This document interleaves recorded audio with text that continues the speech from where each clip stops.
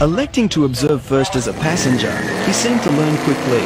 Then changed seats at the crowd's suggestion while they waited patiently for $6,000 worth of 20-inch tyres to go up in smoke.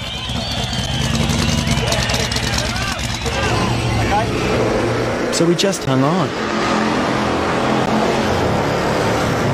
As expected, a 700 horsepower alcohol burning supercharged 8.2 litre Chevy V8 had no problem making a bit of smoke.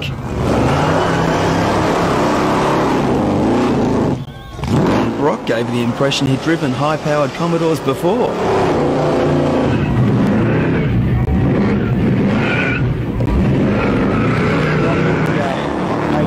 Guest appearance, showing that he can do good things for you.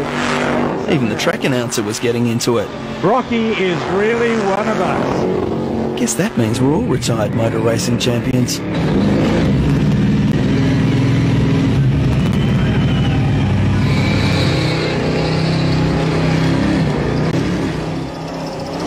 Peter Brock, the most famous Australian motor racing icon of all time.